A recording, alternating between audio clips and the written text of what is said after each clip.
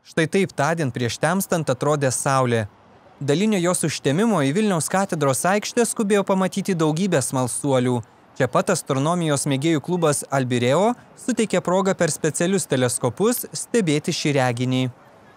Daliniai tokie vat, saulės užtemimai, kokį dabar mes matome Lietuvoje, jie kartojasi tarp kas 5-6 metus. Galima sakyti, kad tai retas reiškinys, bet jeigu paimsim didesnį laikotarpį, tai yra gan neįlynis. Jeigu žiūrėti apskritai Žemės rutulyje, tai jie vyksta į kasmet po 2-5 kartus.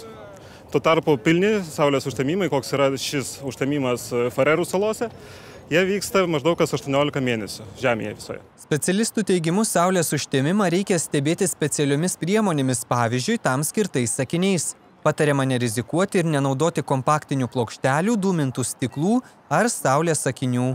Pavyzdžiui, vat, e, jeigu saulės akiniai yra neapsaugoti nuo UV, tai yra labai pavojingi, nes kadangi mūsų lėšiukas susitraukia, kai mes žiūrim be akinių, o su tamsintais lėšiukas atsidaro. Neapsaugotas ultravioletą iš karto mums gali pažeisti netgi tinklainę. O aprūkintas stiklas, jisai nesulaiko vienas dalykas viso spektro, kurį turėtų sulaikyti. Antras dalykas - ultravioleto nesulaiko.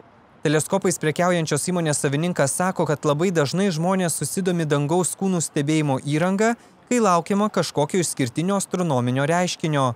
Tokio susidomėjimo būta ir laukiant šio dalinio saulės užtėmimo. Mes labai pastebim, kad kažkokie gamtos reiškiniai, ypač dabar va, šitas labai, kadangi susidomėjimas didžiulis, jau prieš savaitę, nors nemažą kiekį mes turėjom ir saulės akinių, ir plėvelių, viską išlavė tiesiog, nu, tikrai buvom pasiruošę tikrai didel, nemažus kiekius.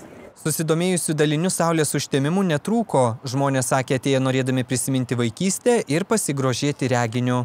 Prisimenu, dar kai buvau vaikas ir Ir žiūrėjom su mama palangoje visą šitą reiškinį, tai buvo labai įdomu, tai norėjau dar kartą pažiūrėti, kas per jausmas. Kitas tiesa, daug mažesnis dalinis saulės užtemimas Lietuvoje bus matomas 2021 metais, birželio 10 dieną.